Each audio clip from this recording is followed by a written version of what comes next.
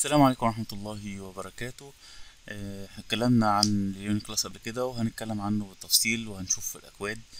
النهاردة هنفهم فكرة ال Uniclass. ال Uniclass عبارة عن ترتيب للعناصر ويبقى فيه آه، نظام ويبقى فيه مثلا اختصارات وهكذا. هنشوفها إزاي نطبقها عملي يعني مش هنتكلم بس نظري لا هنتكلم عملي. دلوقتي انت ممكن تحمل الملف دوت أنا هقول له download اول أنا أكيد محمله قبل كده بس عشان إيه يبقى كل حاجة قدامك. تمام ده الملف اهوت.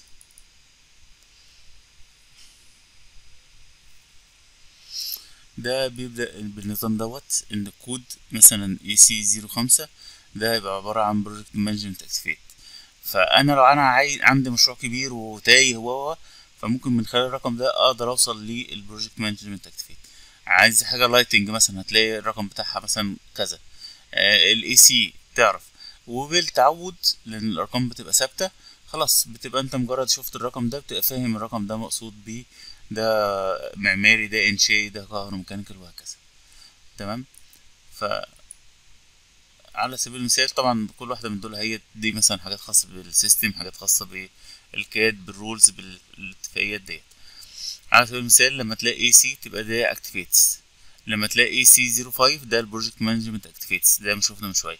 ولما تلاقي مثلا الرقم ده يبقى ده استراتيجي اهو تمام؟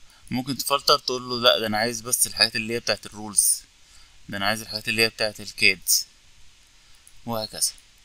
طيب عايزين نبدأ نطبق ده مثلا في برنامج زي برنامج ال Revit اشمعنى ال Revit عشان أنتوا عايزين كده. لو قعدت شرحت برنامج تاني تقول إيه البرنامج اللي انت عمال تتكلم عليه؟ طيب خلينا نشوف. ده أول حاجة بنسطبها الأداة دي BIM Interoperability Tools هقول له هنا إن أنا عايز أعمل classification manager setup setup هيعمل إيه؟ إن كل واحدة فيهم هيبدأ يضيف لها الخصائص بتاعتها. يعني خلينا نبص الأول edit type ننزل. مفيش حاجة خاصة بال classification هنا. في OmniClass number ده مش هو ده اللي إحنا هنتكلم فيه. تمام؟ طيب خلينا نيجي هنا. اهوت.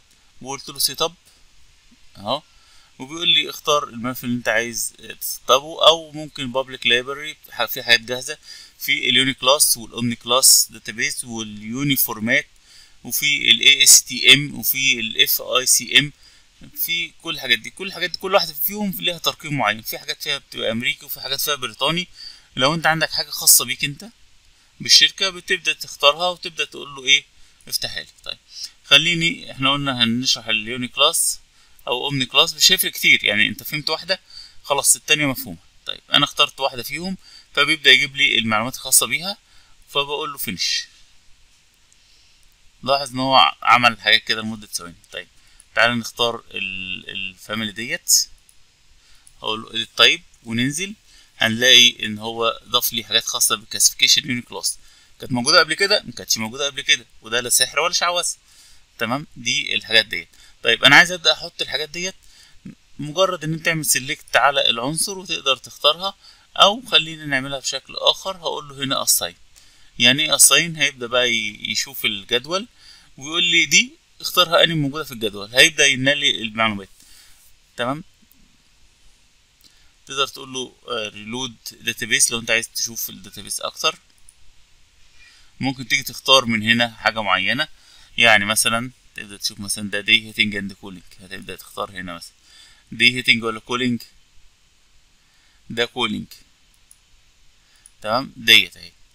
يبقى تاخد الرقم ده تقول له assign. تمام؟ assign. طيب.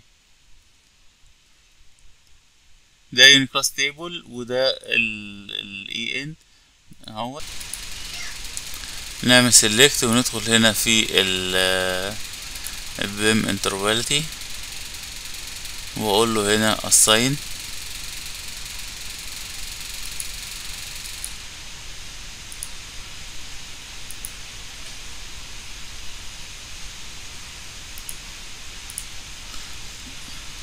أيوه أهي.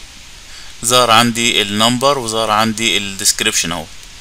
فكده على طول لما تيجي تشوف ال select لما تيجي تصدر المعلومات لما تيجي تاخد تشوف المعلومات بتاعت الملفات هتلاقي ال Uniclass موجود وال description بتاعه موجود. كل ده بمجرد إن أنت عملت select ال assign واخترت الحاجة من الجدول اللي هنا.